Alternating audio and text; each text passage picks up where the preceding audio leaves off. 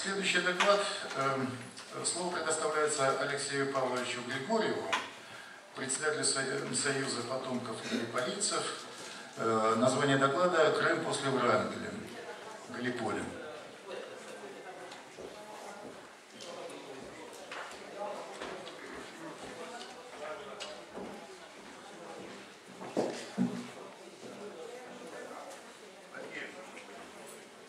Галиполи. Священство, уважаемые дамы и господа, э, это с чувством глубокого переживания, что я стою сегодня здесь, перед вами, на нашей священной русской земле.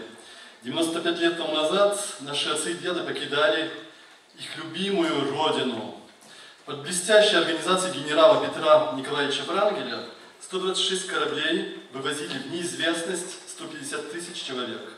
В большинстве воинов русской армии.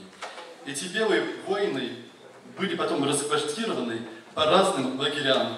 В Галиполе для первого армейского корпуса генерала инфантерии Александра Павловича Кутепова, Лемнос для казаков, Визешта для флота. Еще, еще были два лагеря под Константинополем, Кабаджа и Чаталджа. Но хотел бы сейчас вернуться к последнему клочку русской земли до отъезда русской армии генерала Петра Николаевича Врангеля и обсудить с вами, что произошло здесь, Крыму после отбытия русской армии и провозглашенной амнистии товарища Фрунзе. Я постараюсь через рассказы очевидцев и опубликованных статьях в русской прессе того времени привести слова Бемгунова, который описывает с большой силой расправы и нечеловеческую жуткую обстановку этого времени ноября-декабря 2020 года. За Деникиным, как мы знаем, последовал Врангель. Здесь жертвы исчисляются уже не десятками тысяч. Крым назывался всероссийским кладбищем. Мы слышали об этих тысячах от многих приезжавших в Москву из Крыма. Расстреляно 50 тысяч, сообщает газета «За народ». Другие числа жертв исчисляют в 100, 120 тысяч и даже 150 тысяч. Какая цифра соответствует действительности, мы, конечно, не знаем.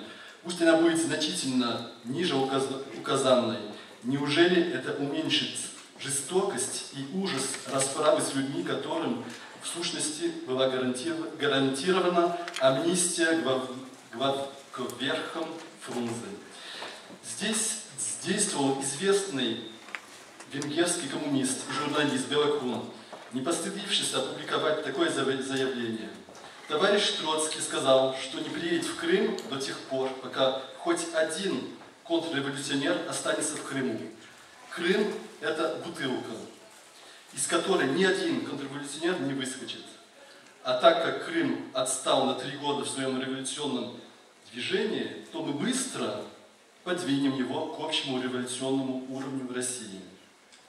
И подвинули еще неслыханными массовыми расстрелами не только, не только расстреливали, но и десятками зарубали шашками. Были случаи, как, когда убивали даже в присутствии родственников. Война продолжится, пока в Красном Крыму останется хоть один белый офицер. Так гласили телеграммы заместителя Троцкого в Ливан-Совете Склянского. Крымская резня 20-21 года вызвала даже особую ревизию со стороны ВЦИК, были допрошены коменданты городов по свидетельству корреспондента Руля, все они в оправдании предъявили телеграмму Белокуна его секретаря Землячки. Землячка Самойлова, получившая в марте 21 года за особые труды орден Красного Знамени.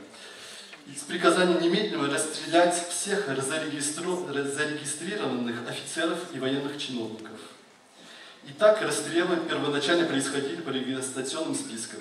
Очередь, очередь при регистрации, рассказывает очевидец Осокин, приславший свои показания в Лазанский суд, в тысячи человек. Каждый спешил подойти первым к могиле. Месяцами шла война.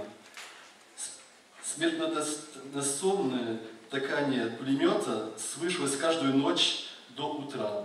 Первая же ночь расстрела в Крыму дала тысячи жертв в Симферополе. В Симферополе 1800, в Феодосии 420, в Керчи 1030 и так далее. Неудоб, неудобство оперировать такими укомплектованными батальонами сказалось сразу. Как ни мутнел рассудок, у некоторых осталось достаточно воли, чтобы бежать. Поэтому на будущее назначены были меньшие партии и две смены за ночь. Для Феодосии 60 человек, в ночь 120. Население ближайших к месту расстрела домов высели, выселилось, не могло вынести ужаса пытки. Да и опасно, недобитые подползали к домам и стонали о помощи. За сокрытие сердобольное поплатились головой, расстреливаемых бросали в старые генуэзские колодцы, когда же они были заполнены. Выводили днем партию приговоренных якобы для отправления в копии за светло заставляли рыть общие могилы, запирали, запирали часа на два в сарай, раздевать до крестика и с наступлением темноты расстреливали. Складывали рядами, на расстрельных через минуту ложились новый ряд живых под равнение. И так продолжалось, пока яма не наполнялась до краев. Еще утром приканчивали некоторых размаживанием головы камнями, сколько похоронено полуживых. В Керчи устраивали десант на Кубань, вывозили в море и топили. Обезумевших жен и матерей гнали нагайками и иногда расстреливали.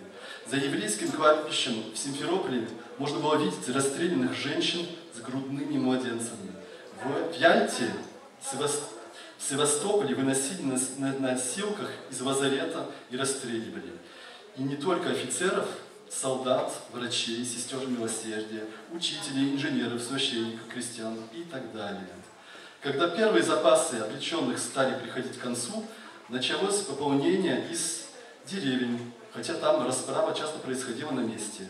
В городах были организованы облавы.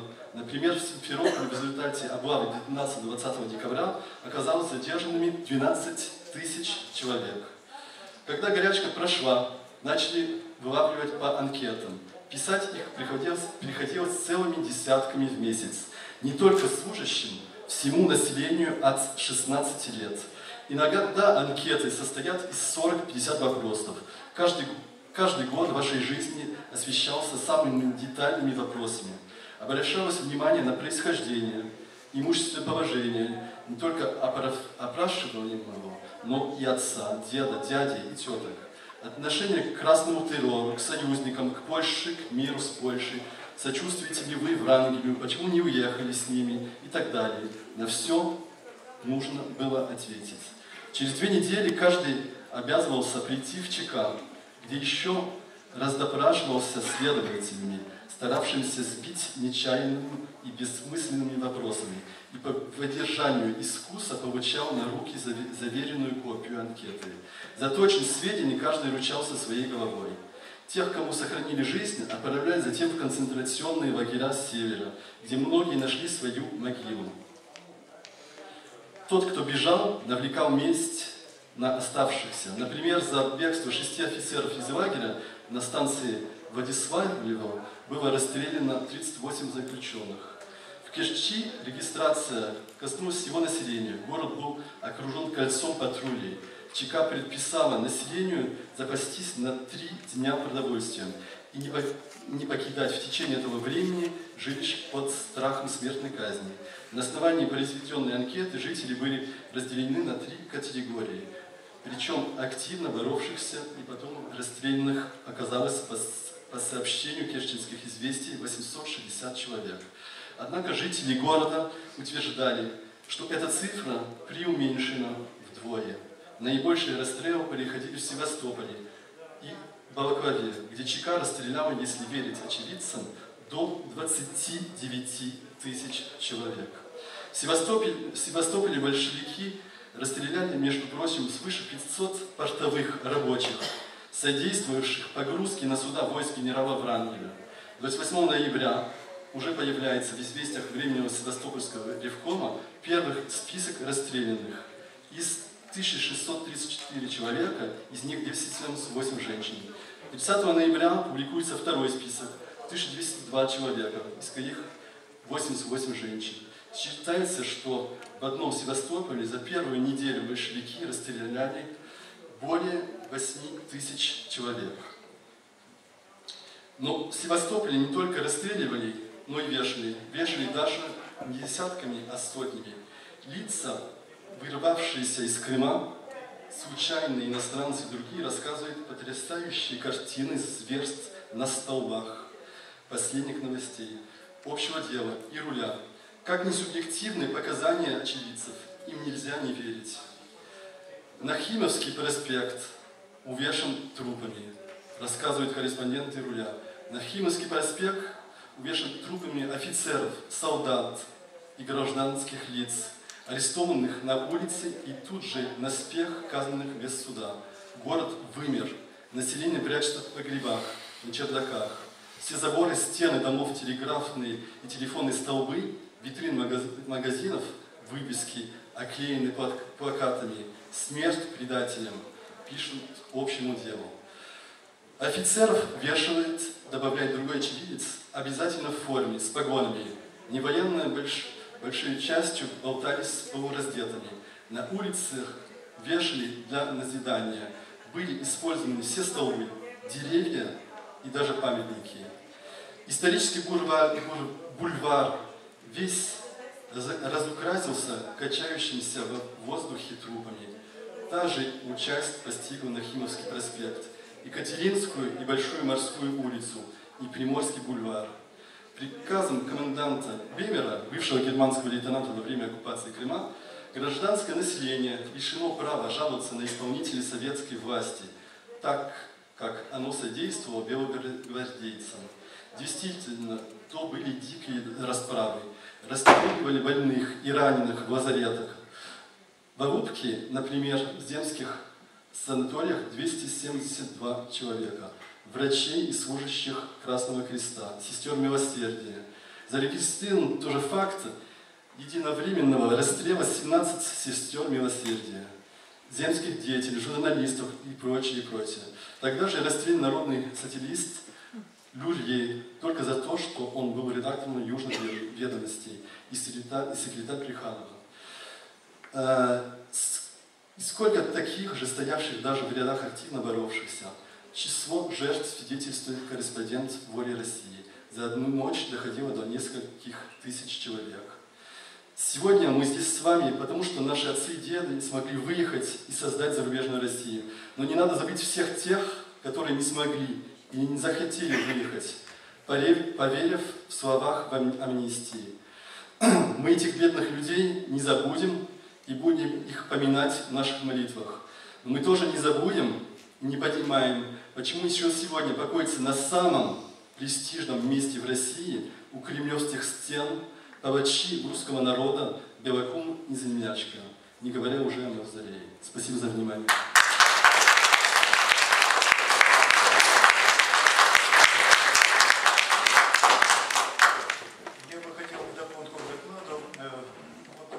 Э, в середине 90-х годов э, прошлого века э, в Крыму была создана группа под названием «Реабилитированные истории». Это группа профессиональных историков, узкий состав, человек 10, была допущена в архив служб Главного управления службы безопасности Украины в Крыму. И они работали с архивно-следственными делами репрессированных и реабилитированных крымчан. И тогда же, конечно, возник вопрос, а сколько жертв красного террора мы имеем э, за 20-21 годы. Значит, несмотря на то, что эти документы были рассекречены и предоставлены историкам, э, картину это не прояснило. То есть формы э, казни известны, социальный состав казненных известен, а количество атак и остается загадкой. И в этом вопросе разброд идет очень серьезный. Историки КПСС дают цифру 20 тысяч жертв красного террора в Крыму. Иван Сергеевич Шмелев в «Солнце мертвых» приводит 150 тысяч человек. И я склоняюсь к тому, что, наверное, наиболее точную, ну, близкую к действительности цифру дает Максимилиан Александрович Волошин. Дело в том, что человек, он был коммуникабельный, и он контачил с одним из организаторов красного террора, с Балакуном. И Максимилиан Воложин называет цифру в 100 тысяч человек. Вероятно, это наиболее близкая к реальности цифра. 100 тысяч человек мы потеряли в Крыму в 20-21 году. В течение года продолжался вот то, то жуткое э, явление, которое вошло в историю под названием Красный террор. Это ноябрь 20 ноябрь 21 годов.